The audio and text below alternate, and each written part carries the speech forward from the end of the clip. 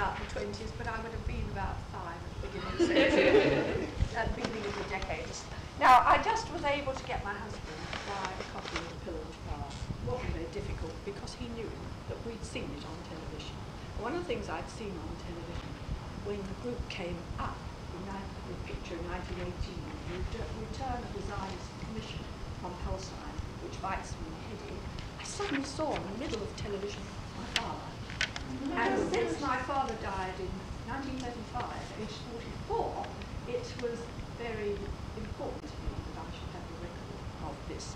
I have, in fact, got the photograph in what is called the history of Zionism in England. Unfortunately, it only goes up to 1929, so I couldn't do my homework for this, for this book. But in there is this picture of the Zionist Commission, and proudly at the back I see my father. Now, my interest in Zionism came from my father, because my father started the first Keren Hayesod in this country. He was working for the Balfour Declaration. He organised the, uh, the time of the Balfour Declaration with Weizmann he, and Sokolov, and he organised a meeting with Lord Rothschild the chair, of which I've got a photograph here, um, which took place on the occasion of the beginning of the Balfour Declaration in 1917, November 2nd, 1917. And subsequently, he was busy setting up the Keren Hayesod, which you all know is really the forerunner of uh, the joint JIA, JPA, J whatever you know, the Zionist funds. So I was brought up in this atmosphere with my father going to speak at Zionist meetings with Dr. Weizmann in the uh, 20s, and I have a picture of him in Glasgow. Right. Now you've finished Pillars of Fire, most appropriately just then, with the Hebron massacres. And the history of the period, which I'm going to talk about from a personal point of view, because the rest you can read in history books, is really the history of white papers, of commissions of white papers. Because following the Hebron riots, you had the Shaw Commission. Then you had the Hope Simpson Commission. As a result of those two commissions, in 1930, you had the Passfield White Paper. And we begin the period with a Passfield White Paper in 1930, and we finish it with the notorious White Paper just before the beginning of the war. So two white papers, apart from all the things that went in the middle, like the important Peel Commission, which recommended partition, an end to the mandate, the setting up of two separate states, or a small one for the Jews, and the holy places to be under mandate. Right? So these are the sort of political things that took place. But the feelings of the people who worked in the Zionist movement were different. We saw only hope. We saw that this was a great new beginning for a Jewish national home. And let me tell you that in the 30s we talked about a Jewish national home until the Commission. It was a Jewish national home in Palestine. And my first memory is sitting on the beach in Eastbourne with my father telling me about the terrible effects of the Hebron riots.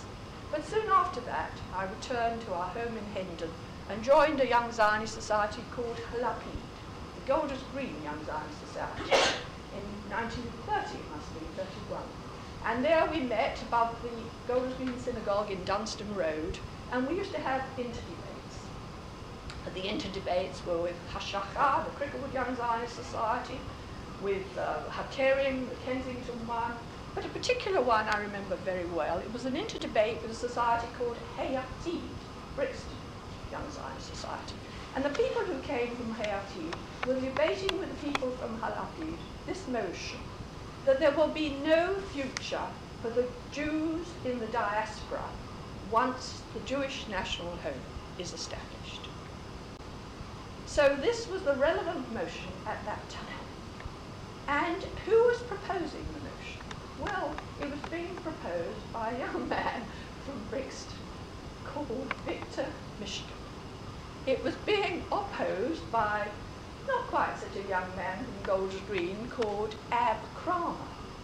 It was being seconded for Brixton, Brixton by another young man, much younger, called Aubrey Eban. And it was being, on the other side with Ab was a young girl called Rita Lipton. And so we debated this motion and I didn't have a clue what I was talking about. my father wrote my speech, and despite the fact that my father wrote my speech, I was so overwhelmed by the speeches of Victor Michel, particularly Aubrey Eban, that I just broke down in the middle of my sentence, which I was reading. And from that date on, I vowed that I never speak in public unless I knew my subject. So you can judge from today.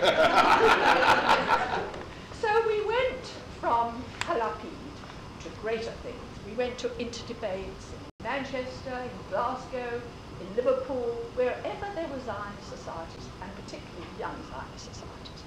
Unless you think that the Jewish community of England, which then numbered about 350,000, was full of Zionists, you are mistaken.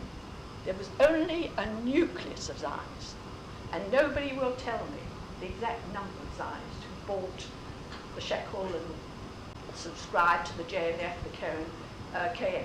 Nobody will tell me that because really it varied very much during the 30s. And most of the people who were organised in Zionist societies and young Zionist societies were really the children of the immigrants from Russia and Poland. On the whole, the German young Zionists didn't want to know that there weren't so many German Jews anyway. But it was the Anglo-Jewish community, the old Anglo, the ones who came back after Oliver Cromwell, who was so opposing.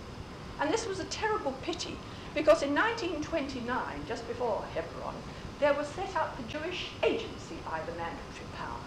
And this was meant to be the people in it, not just the Zionist organization, the World Zionist organization, but also the, the people who were Jews who were non-Zionists. And uh, we can see that they, they called in for this Lord Melchett, who afterwards, his family afterwards became very Zionist, but at that time he wasn't. The Mond family, who married the Reading family, I remember them very well, being very active later on. And they also had the opposition, of course, at that time, the Board of Deputies very opposed to anything to do with the Jewish national home in Palestine, afraid of what might happen to anti-Semitism in England. It was during a later period that I was involved in trying to capture the Board of Deputies, helping Professor Brodetsky, who became, who was the wrangler at Leeds and became very active and afterwards became president of the Board of Deputies to be followed by Janner later on. But there was this anti-Jewish national home atmosphere in the Jewish so we worked together in an association called the Association of Young Zionist Societies. And there was existing at the same time the University Zionist Federation for the people lucky enough who were able to go to university, and there were few then, and I certainly didn't go.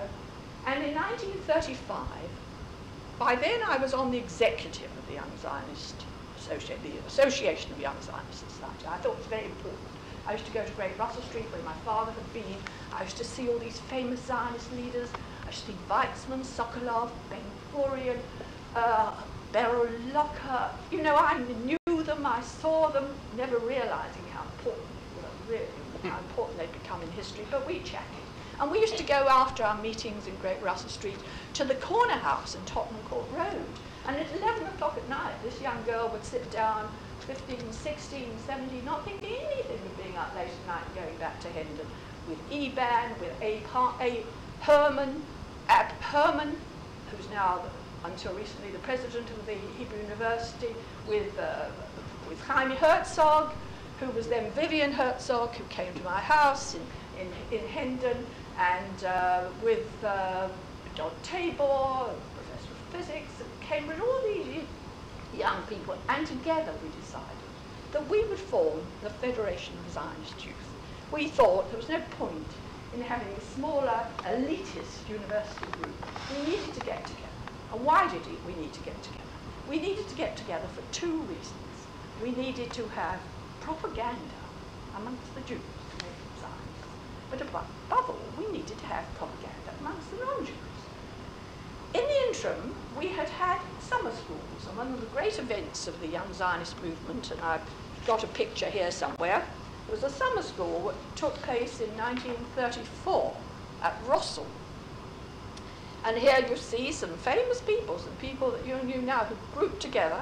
Slatsky was the, was the president at the time, Henry Shaw of Hillel House, There's, there's Eban here, there's Landy, there are Silmans. I left out all sorts of people, but that's a group at a summer school taken in 1934. The first summer school was held in 1931, and I went to several, and we had lectures as you're having here. Right.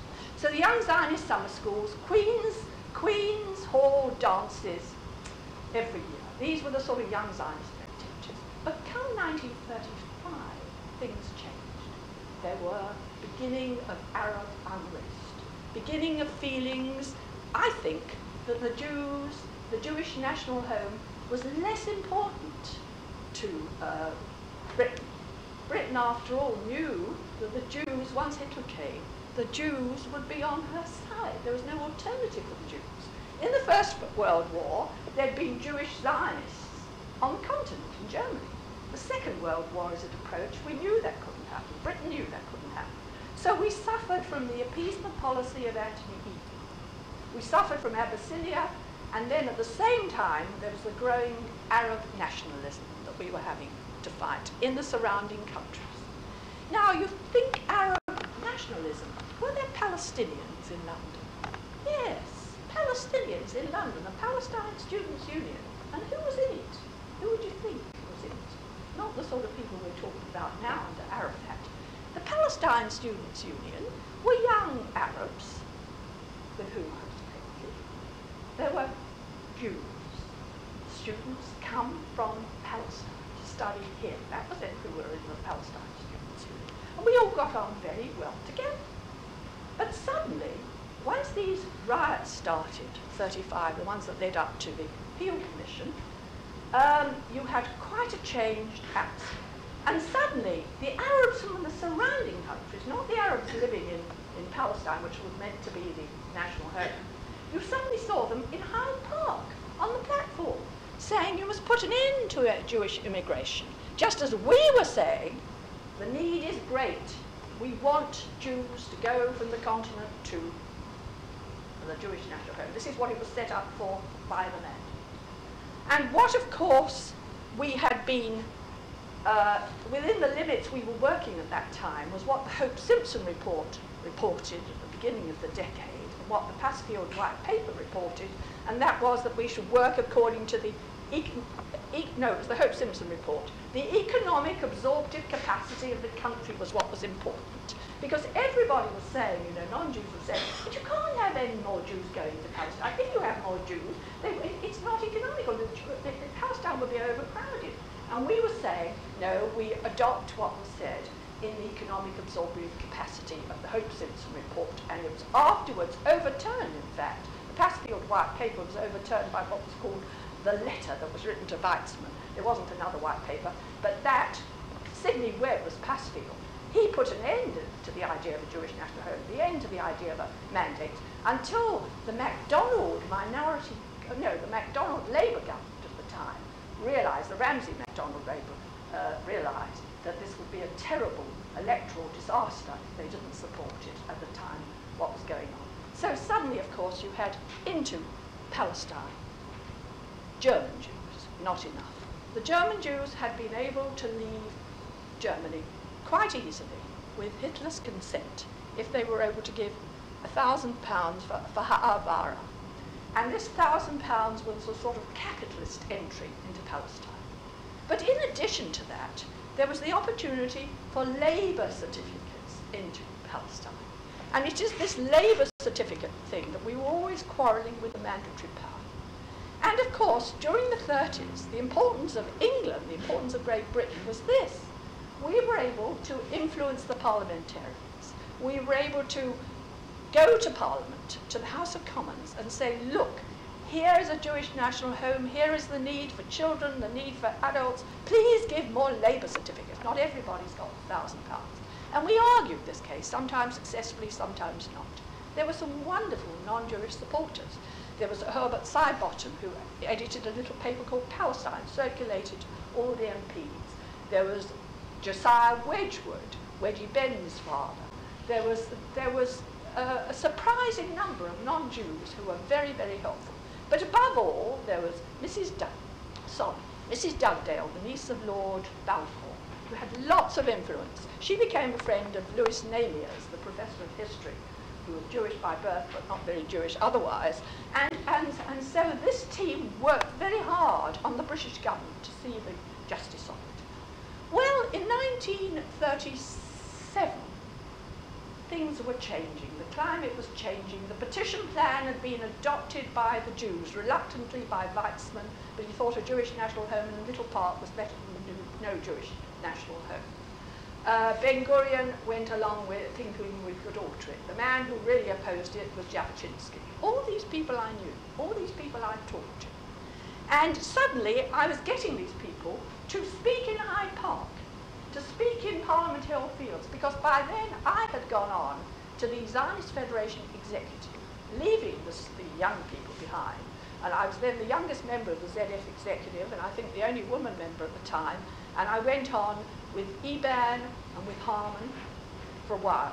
And there on the Zionist Executive, I became chairman of the propaganda subcommittee.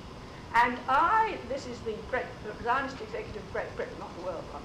And by this time, of course, Weizmann was the president of the Zionist Federation. He'd been turned out at one time as president of the World Organization, but he stayed as president of the English one, the Great Britain one, all the time. Well, we went into Hyde Park. We set up platforms next to the Arab platforms. We set them up in Tower Hill at lunch hour meetings. We set them up in Parliament Hill Fields. We set them up in Golders Green. Wherever there were open air meetings, we were there.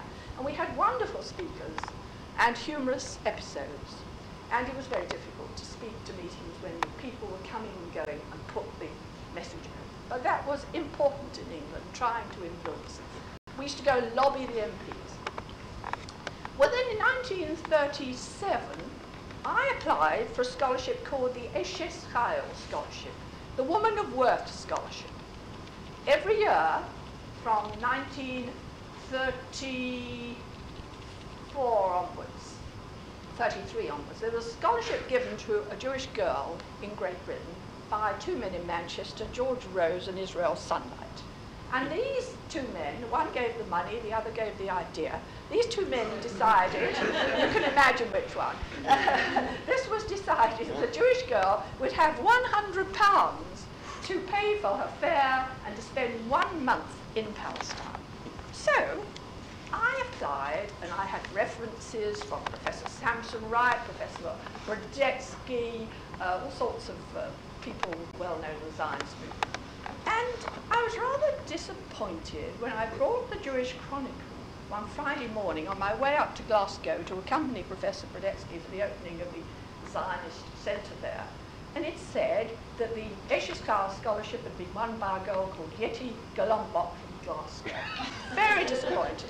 And I get to the opening of the Zionist Centre, and um, a lot of people there, including the Jewish Lads Brigade and all sorts of people. And Professor Brodetsky makes a very nice speech, and he says, I congratulate Glasgow on having the Chayil Scholarship awarded here. I hope the London candidate will be more successful next year. Of course, I was most embarrassed and I had to make a speech immediately afterwards, which I didn't refer to the London candidate. but the following year, I applied. I was told to apply again, which I did. And so, in 1938, in May, April, May 38, I went to Palestine. And when I got there, from Venice on the boat, uh, Dr. Weizmann, I found, was on the boat. Before I got there, that was. And when I got there, I found an invitation, which I have here. Mrs. Chaim Weizmann has the pleasure of inviting Rita Lipton to a garden party at Bet Weizmann Rehovot on 16th of May, 1938. Anyway, and it was in aid of the work of WIZO, but my ticket was complimentary. There, of course.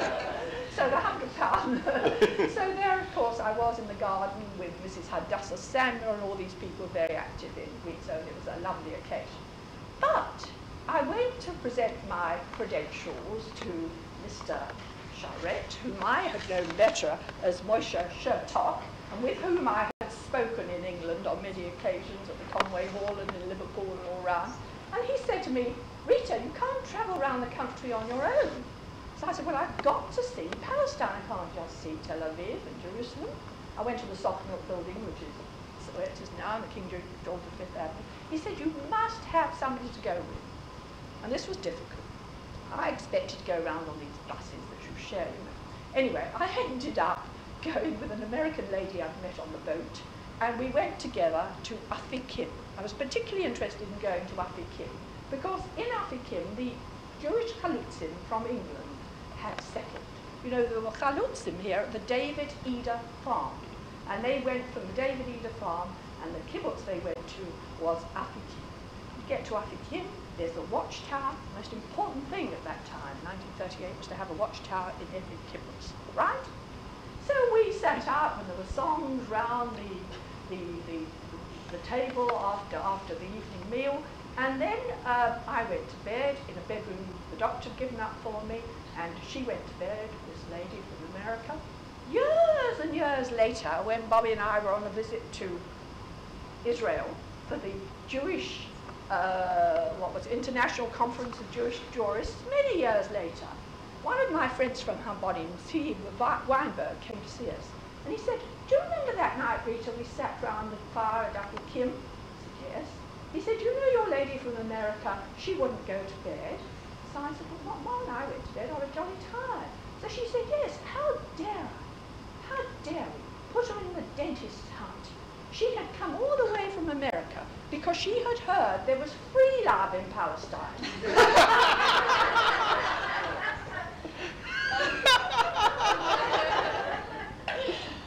so to come to more serious Last night. so we went, when I saw Arthur Kim, I saw B'nai Brak, I saw other kibbutzim, and I spent a lot of time with English kibbutzim. But when I was in Jerusalem, I had the pleasure of being invited to the chief rabbi's house for a Friday night supper. The chief rabbi by then was Rabbi Herzog, and they were living above a dancing studio in the middle of Jerusalem. and when uh, Mrs. Herzog, Mrs. Herzog uh, made me very welcome when I arrived, but she said, do you mind if I lend you a cardigan? I had short sleeves on, it was hot, was Friday night. She said, they're coming up to Lelean with the rabbi after supper, and it won't be very suitable if you've got short sleeves. So, of course, I did what she said, wore her cardigan. And then she said to me, do you know, I'm used to going to the cinema in Dublin. But she said, since I've been here, there have been uh, demonstrations outside the cinema because they don't want graven images, films. Hmm. so, so she was having to suffer uh, from certain religious extremism, as other people are now. But under, underneath the Friday night tablecloth, you see, just like this, the white tablecloth, and, and Chaim Vivian was sitting just near me. He started to say, look, look, a picture of me in Haganah. Picture me. Don't tell my parents I'm in Haganah. Well, you know, I think now, tell your parents Now I read history of the period. 10,000 Jews were under arms in Palestine then. 10,000 Jews trained by the British mandatory power. Because at that time, the British mandatory power were more afraid of the Arabs than they were of the Jews. So these 10,000 were under arms. And whereas in the beginning it was a secret organisation, later it became a British government, a British mandatory power uh, prom promotion for one. And when I visited the Wailing Wall in Jerusalem, the British Tommies were offering me uh, cups of Turkish coffee. There was a very relaxed atmosphere. When I visited other kibbutzim, I was visiting the neighbors, the Arabs next door, and they were visiting too. It was a very, some Arabs were very friendly, some Arabs, but certainly British policy was shifting during that period. So I had an amazing time for a month in Palestine. I came back to report to Jewish communities in England and try and get Jewish communities to send young people to the national home. And it was difficult to get English Chalutzim to go, of course. But you see, I addressed a meeting in Manchester. And at this meeting in Manchester, I talked about the 10,000 Jews under arms. But I saw the resolution the other day. The resolution passed at that big meeting in Manchester at the uh, Free Trade Hall was that this meeting calls on the Colonial Secretary to allow large-scale immigration into Palestine. This meeting calls on the mandatory power to allow a higher participation of Jews in the defense of Palestine.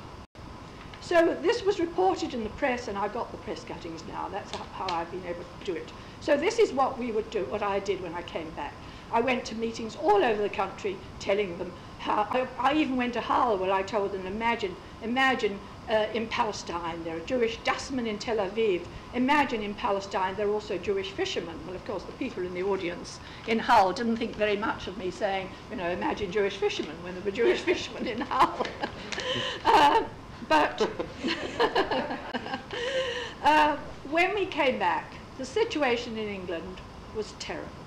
The worry amongst the Zionists was great. The number of certificates, which had risen to about 50,000 for labour certificates, was being cut. The Peel Commission was dead. The Jews accepted it in the smaller Palestine. The Arabs would not accept it. That was their mistake in a way. And the British government's mistake, I feel, too. If they had imposed the Peel Commission then, it would have saved a lot of trouble afterwards. But Eden, as I said before, began to see there was nothing to be gained from help from the Jewish community. It would be there anyway, if the Germans, in fact, carried out, carried on their anti-Semitic policy. And so, you know, the White Paper, we came to the White Paper of 39. The paper of 39, as a result of this change of the attitude of British government, was a terrible white paper. It recommended no partition, no Jewish state, no immigration after five years. In other words, this was the end of the hope for an independent Jewish state. It was also the end of a hope for a Jewish national home because it was going to become an Arab Palestine. Because I must tell you, at this time, we're talking about one million Arabs in Palestine and 400,000 Jews, even after all the larger immigration from Germany. So when the 21st Zionist Congress met in Geneva, it was a terrible Congress. Weizmann, Jabotinsky, Ben Gurion, Ben Gurion now really head of the Yishuv, the Jewish National Home in Palestine, and Weizmann back as president of the Zionist organization.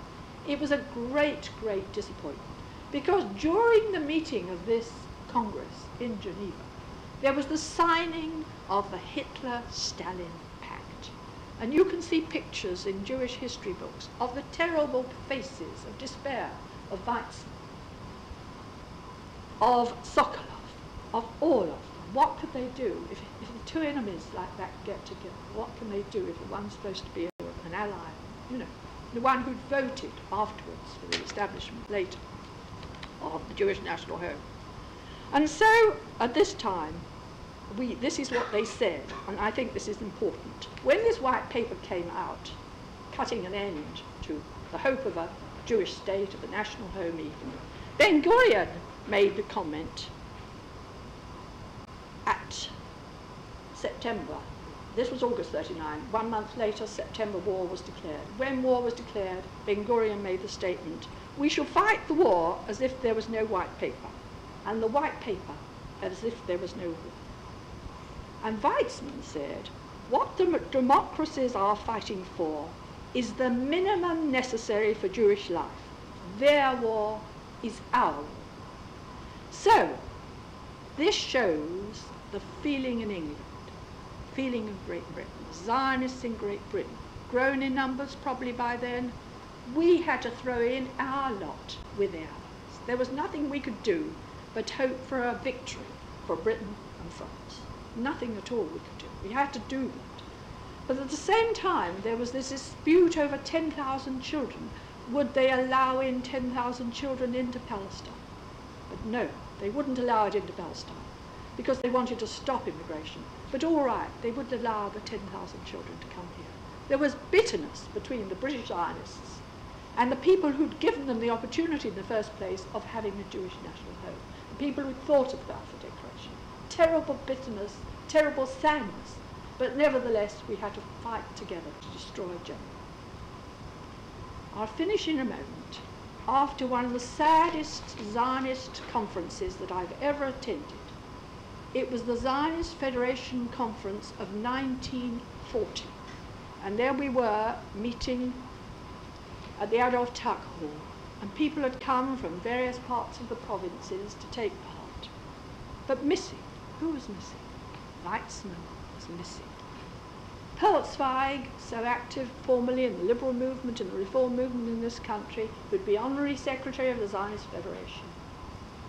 Perlzweig had gone to America. People had gone to where they thought they could help. But Weizmann was in England. And he was the saddest man of all. And this is the end of the great, greatest hopes generated by the mandate being dashed to the ground. And this was despair. Despair which I took with me, but I had no alternative but to work in the British Civil Service, and people like my husband, no alternative but to serve in the British forces to defeat Hitler.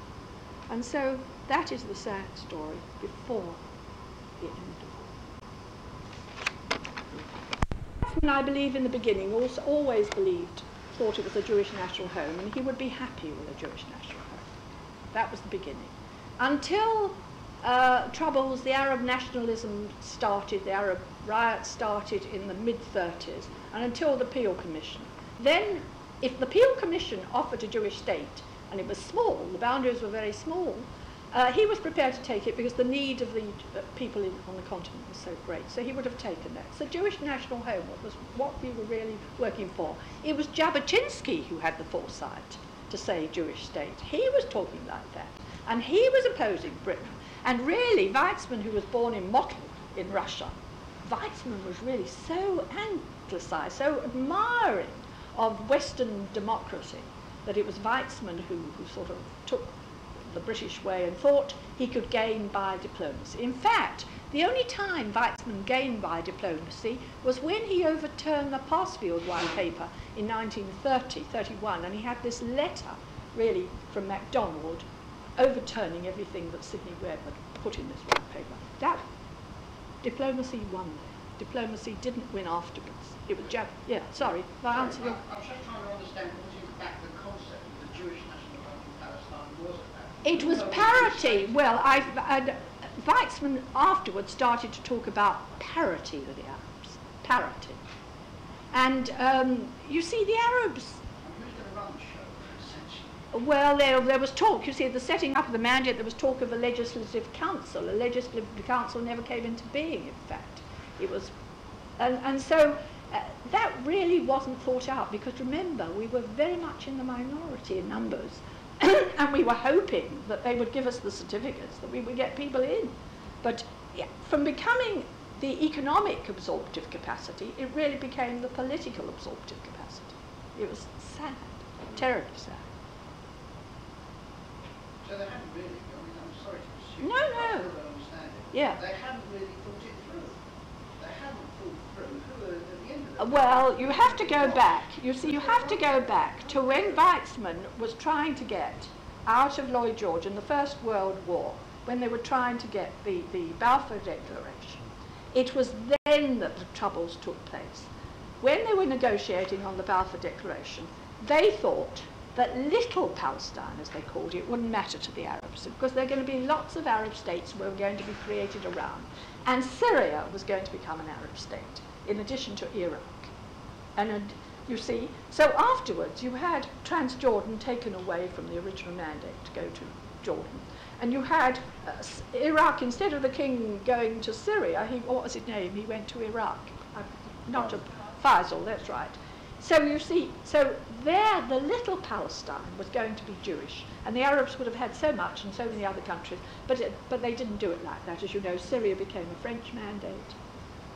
So that was the disappointment. That's why they didn't think it through.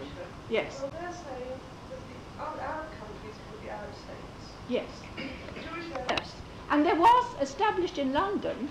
Um, there was the Anglo-Palestine Club, but what was more important was the Wyndham Deedes, the beginning of the uh, Anglo-Israel Association, which became very important, keeping it under Britain, British Commonwealth. Yes, certainly. Any other? How, uh, you, you mentioned Palestinian and uh, students being either Jewish or Arab.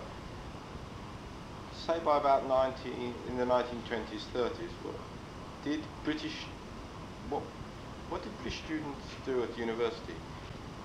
Were they openly Zionist? Did they keep, I mean, was that not an issue then? There was no feeling of threat from Arabs or from anyone else? No, there was no there? feeling, not in the certainly not in the early 30s. It was only in the middle 30s Yeah. that things changed. I mean, in the middle 30s, in one year, 50,000 Jews went in with labour certificates to Palestine. The, the Jewish, la- the Arab labour in Palestine was working happily in orange groves owned by refu- by um, uh, Arab landowners from a com- uh, other states, other Arab countries, not Arabs in Palestine. Right. So they were their employers. And then what was what they felt was the Arab students felt a great sense of grievance that the Arab landowners who who were employing them in Palestine weren't paying them enough money. Do you see? And the Jews came along and paid them more money. But they shouldn't really have been- employing Arab labour because one of the great things I felt when I went to Palestine was this was all very different from the sort of idealism of uh, uh, Pinsker, of Ahad Ha'am, you know, of uh, the, the Russian uh, immigrants, you know, the new ideas of self-labour, auto-emancipation, and all this was employing labour was quite wrong. So uh, no, in the, in the universities uh, there were no, there were university Zionist societies, I've said, but they were the minority. And the Jewish students who went to university uh, were from probably. Uh, they they didn't uh, mix as easily in the beginning. By the end, they were more anxious to to uh, mix with new sorts of people than to carry on their shoulders uh, uh, Zionist causes or even Jewish causes.